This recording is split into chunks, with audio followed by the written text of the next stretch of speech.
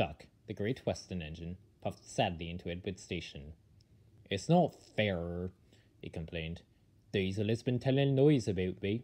He's made the fat controller, and all the engines think I'm married. Edward smiled. I know you want, he said. And so does the fat controller. You wait and see. Why don't you help me with these trucks? Duck felt happy with Edward and set to work at once. James, wait!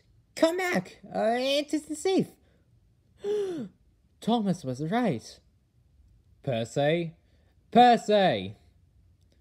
Huh. Nobody can say I'm the scaredy engine now. I mean, I don't see any other engines up here, and nothing to be frightened of at all.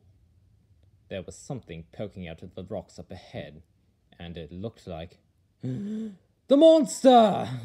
The monster! The monster! The, the monster? It wasn't long before fast, strong Caitlin arrived at the steamworks with poor, broken down Emily. Emily was very impressed by Caitlin. That was great, Caitlin. You're amazing. Amazing? Not really. Just built for speed, that's all. She's so fast, Victor. It was incredible. She must be the best engine ever. Honestly, Emily, being fast isn't everything. I know. But she looks amazing too. Her shape is so sleek and smooth.